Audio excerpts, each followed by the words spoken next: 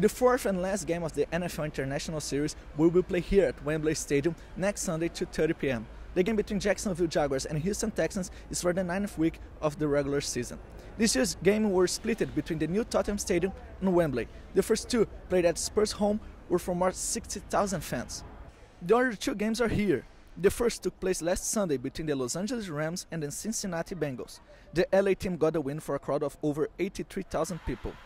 The NFL games are not something new to the British people. Since 2007, the league has brought 27 games to the capital of the United Kingdom and it's not difficult to find some tourists that are coming to the town just for the game. Who they? Who they? Who they think gonna beat those Bengals? Who they? Who they? Who they think gonna beat those Bengals? Nobody! We're diehard be- uh, Bengal fans, and it's a beautiful day here in London, and we feel like we're gonna get our first win. Yeah. Hey. Never been to London, wanted to come support my team and I mean, made a little trip out of Europe out of it too. I love it. I've been here since Thursday. I mean, it's a great town, friendly people, good food, very diverse. Man, who they?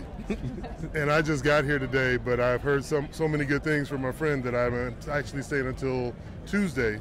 So I'm going to get to experience London a little bit more for the next few days. It was um, the German television which started uh, to to promote the the NFL. Mm-hmm and uh, yes, um, since a few, a few weeks, uh, the NFL is uh, doing some games here, so uh, it was um, for us not to go to America to, to see a game, so it's not too far. Yes, that's why we it will be a great experience, and we are really happy to, to be here. Yeah. Tickets for the next game are available online and at the ticket office here at the stadium.